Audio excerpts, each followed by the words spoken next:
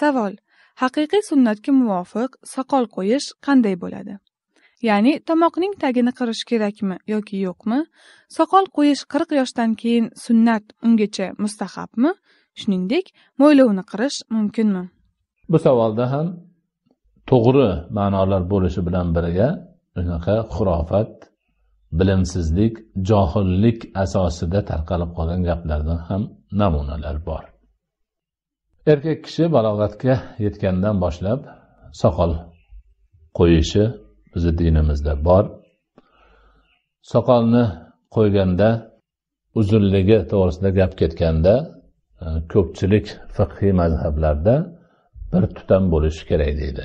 Ya'niki qo'lni iyakka jaqqa qo'yib turib tutamlaganda o'sha tutamini uzunicha bo'lgani e, sunnatga muvofiq bo'ladi deyiladi. Bunga dalil qilib buyuk sahobiy abdulloh ibn umar roziyallohu anhuning amallari olingan.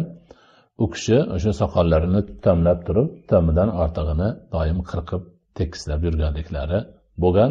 Boshqa sahobalar ham buni qilganlar. Ho'p ana shu ma'noda demak e, soqolni uzunligi atrofidan to'g'irlab yurishligi ma'nolari olingan. Endi tomoqning ostinidagi e, tuklarni qirish yoki qirmaslik to'g'risidagi masalaga kelganda ulamolarimiz ixtilof qilganlar. Ba'zi birlari qirish kerak emas degan bo'lsa boshqa birlari qirsa bo'laveradi degan ma'noni aytganlar. Bizni diyorlarimizda o'sha qirsa bo'laveradi degan gap tarqalgan unga amal qilib kelingan va qilinmoqda ham. Qirq yoshgacha sunnat qirq yoshdan keyin sunnat undan oldin mustahab degan gap mutlaqo noto'g'ri. Unaqa qirq yosh qirq yosh degan gap yo'q. Balog'atga yetgandan keyin soqol qo'ygan qo'yish borligi dinimizda ta'kidlangan narsa hisoblanadi. Mo'ylovni qirish mumkinmi degani soqol qo'yib turib mo'ylovni qirsa bo'ladi. Payg'ambarimiz alayhissalotu vassalomni hadislarida shu gap aytilgan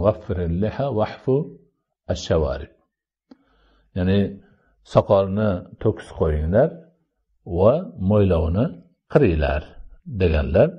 Bunga ko'proq pokiston tarafda amal qilinishadi. Soqollari uzun uzun bo'lsa ham mo'ylovni e, demak juda tagi bilan qilmasa ham e, e, yaxshilab qirib yurishadi. Unaqa uzaytirib qo'yishmaydi.